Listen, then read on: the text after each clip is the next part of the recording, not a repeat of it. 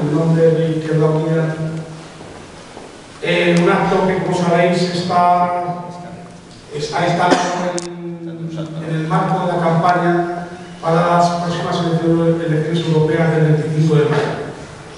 Unas elecciones europeas que evidentemente todos conocemos de su importancia, aunque según parece la, la, la abstención va a ser uno de los elementos fundamentales lamentablemente. Pero estas elecciones europeas tienen, aparte de su importancia intrínsecamente europea, una importancia eh, nacional, autonómica y local.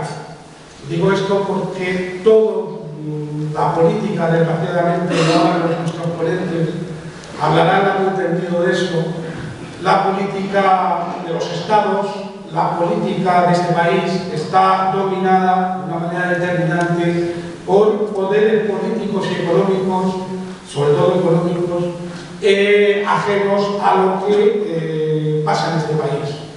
Son los poderes financieros, los poderes económicos, eh, los que están marcando la pauta en, todo, en todos los terrenos.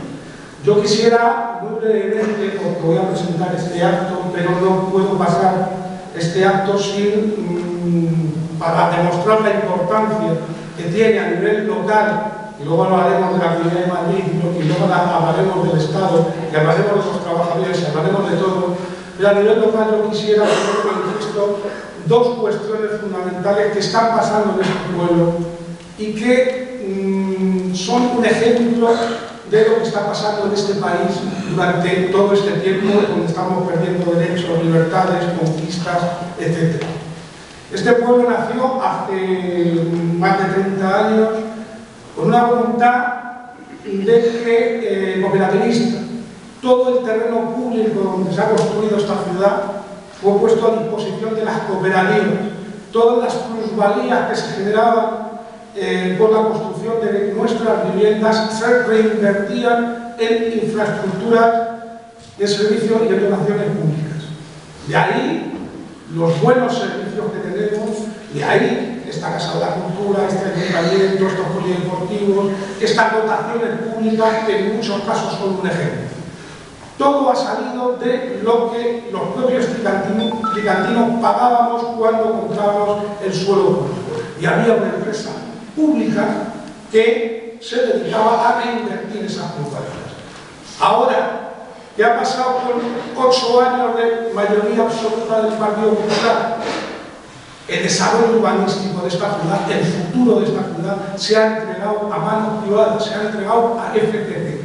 Como ya sabéis, se hizo, se adjudicó el desarrollo de todo el urbanismo, el desarrollo del plan general a FTP. Eso es el ejemplo de lo que ha pasado y se acabaron, se acabaron, si, si sigue esta línea, las dotaciones, los servicios públicos, etcétera, etcétera. Voy a poner otro ejemplo, voy a poner el ejemplo de las mil viviendas para jóvenes que han tenido una vicisitud importante a lo largo de estos años.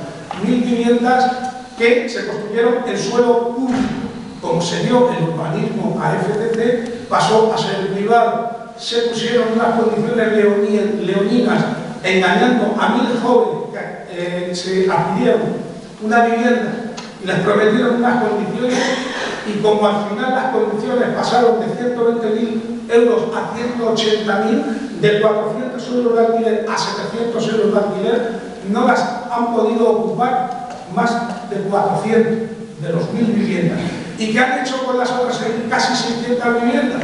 Adjudicárselas a un fondo buitre. A un fondo buitre por 60.000 euros cada vivienda.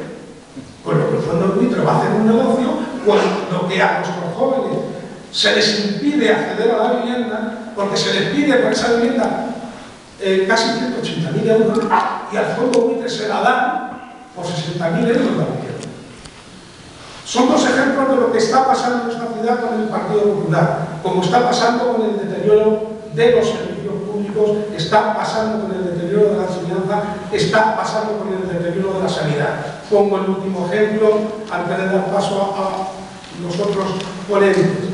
Eh, el último ejemplo, y eso lo saben los compañeras, las compañeras y compañeros de la empresa municipal de servicios, cómo intentan día a día desmantelar servicios como el de la ayuda a la dependencia, cómo eh, mm, privatizando esa ayuda han encarecido el servicio y han despedido a trabajadores porque no han aceptado que tuvieran las mismas condiciones de trabajo que tenían cuando se estaba prestando el servicio por el ayuntamiento, o sea, o sea, era un servicio público.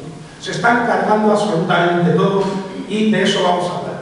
Y vamos a empezar, no quiero extender el tema local hoy, aunque todo tiene que ver, todo está eh, concatenado y eh, si hablamos de elecciones europeas, por supuesto tenemos que hablar de los trabajadores y de las trabajadoras, de la salida a la crisis, de cómo se ha gestado esta crisis.